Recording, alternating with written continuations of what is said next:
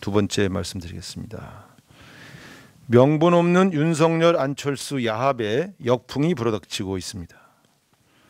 두 사람의 단일화가 어제 아침 벼랑간 발표된 이후 양측의 기대와는 달리 실망과 지지 철회의 목소리가 쏟아져 나오고 있습니다. 어제 하루 동안 국민의당 당원들의 탈당 러시가 이어지고 제3의 선택지로 안철수 후보를 고려하던 중도층에서 이재명 후보 지지로 돌아서는 것이 관측되고 있습니다.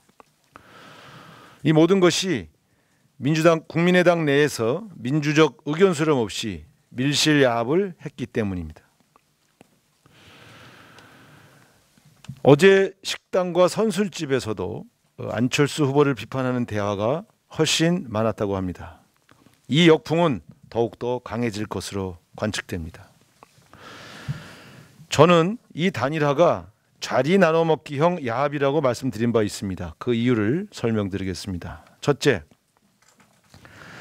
안철수 씨가 행정을 해보고 싶다고 말씀하신 것에서 미뤄볼 때 국무총리 제안을 받은 것으로 추정됩니다. 또한 국무총리의 내각 추천권도 보장함으로써 공동 인사권을 행사할 가능성이 매우 높다고 저희는 관측하고 있습니다. 이것이 자리 나눠 먹기가 아니고 무엇입니까? 둘째, 대선 후 당대당 통합을 추진한다고 합니다.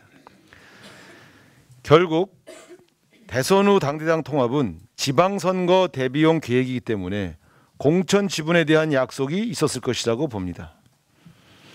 또 창당에 따른 지도 체제 문제도 논의했을 것입니다. 이준석 대표의 거취는 어떻게 되는 것입니까? 바로 이러한 논의들이 전제되었을 것이기에 자리 나눠 먹기용 야합으로 규정한 것입니다.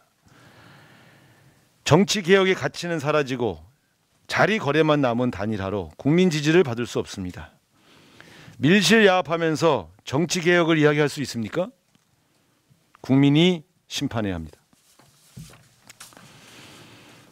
앞서 윤, 윤호중 위원장 그리고 최강욱 위원장도 말씀하셨습니다만 이 군대 기피자에게 대통령을 저는 이런 질문 진짜 안 할 수가 없습니다. 저도 에, 지금도 가끔 군대 가서 구보하는 꿈을 꿀 때가 있습니다.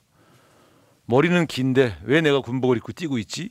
그러다 식은땀을 흘리면서 잠에서 깹니다. 대한민국 남성의 군대란 이렇게 평생 따라다니는 기억이고 추억인 것입니다.